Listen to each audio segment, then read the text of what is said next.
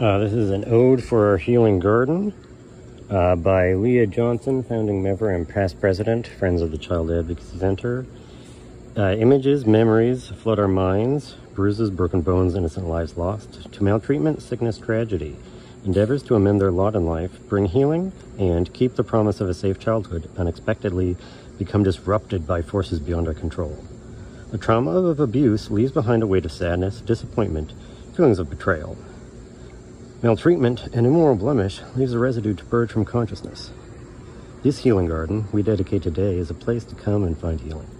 Release the sorrow that is within you. Your tears, a bountiful rain for seeds to sprout. Uplift your heart and spirit. Find renewed strength. Remember those who are hurting or have lost their lives. Bolster your mind to find meaning by turning the experience into good. Develop compassion and empathy for others who will need you and listen for the slightest whisper of hurting child and respond to change the future. And so this here is the Healing Garden at Budina Mass Park, established 2015. And the Healing Garden, remembering the victims of child abuse, dedicated to the healing of survivors, sponsored by the Friends of the Child Advocacy Center.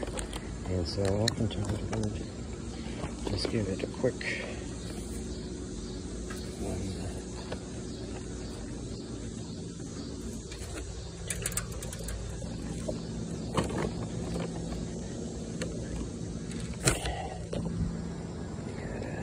notice. So there you go.